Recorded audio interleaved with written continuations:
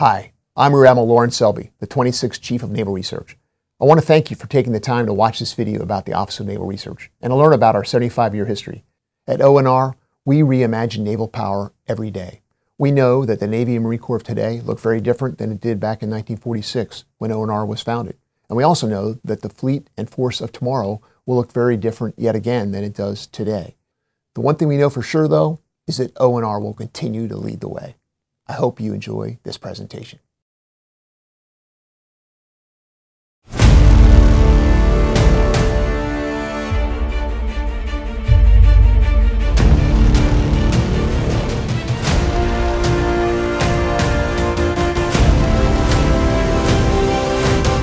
The Office of Naval Research 75 years of reimagining naval power.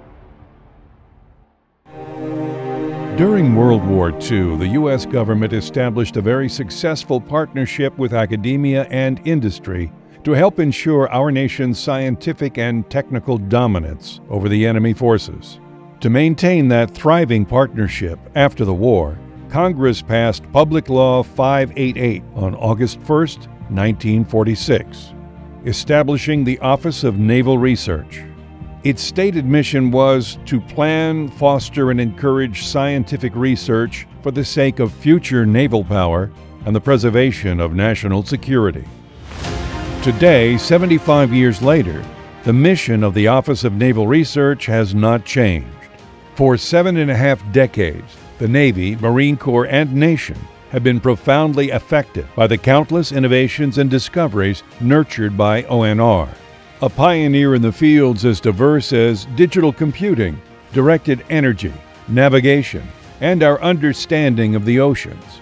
ONR's contribution to the fight since 1946 has been incalculable, bringing together a wide range of partners in government, the military, industry, and academia in a collaborative environment.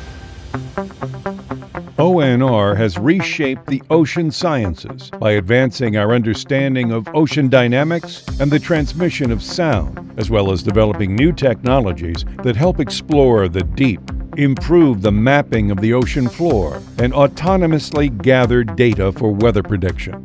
ONR supported expeditions, took humans to the deepest depths of the world ocean and to the highest balloon ascent in the early 1960s. ONR technology helped in the first detection of hydrothermal vents and a new form of life based on chemosynthesis in the 1970s, as well as the discovery of the wreck of the RMS Titanic in the 1980s.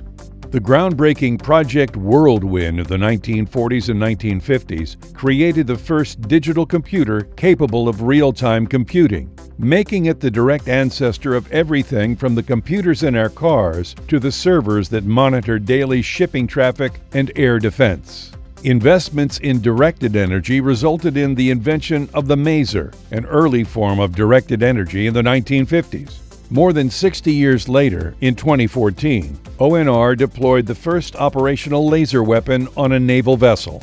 More than 60 years of support for the sciences of autonomy and artificial intelligence led to the first autonomous underwater vehicle, SPURV, in the 1950s, and the first autonomous robot, Shaky, in the 1960s. ONR is a world leader in the development of underwater, surface, and aerial vehicles that do everything from maritime data collection to mine countermeasures.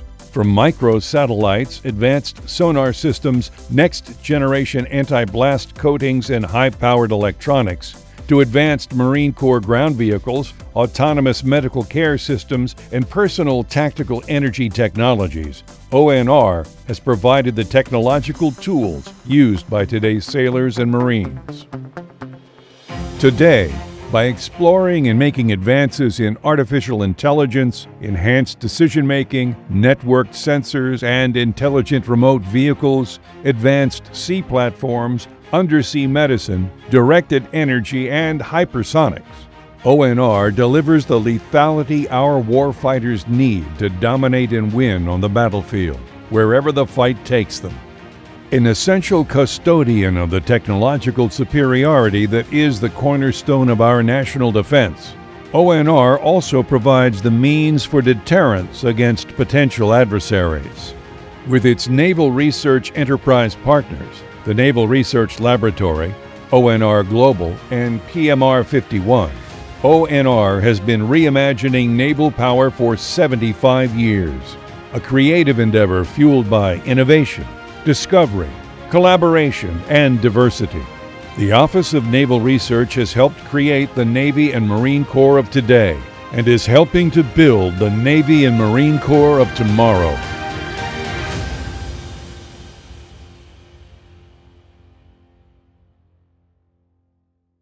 Wow, I hope you enjoyed that as much as I did. Some of those images and stories brought back memories when I was a kid. It was July 1969, and my dad let me stay up late one night to watch the Apollo 11 astronauts step onto the moon. That event inspired me, like it did thousands of other young men and women, to begin a STEM career. In fact, Neil Armstrong was and still is one of my personal heroes. Today, the Office of Naval Research is making possible a safe and secure future for our Navy, Marine Corps, and nation. The fields we are exploring today will truly shape the world of tomorrow. We will keep our sailors and Marines dominant in the battle space, and our work will provide inspiration, just like that moon landing did for me in 1969. In fact, perhaps that should be ONR's anniversary slogan stay inspired. Thanks for watching.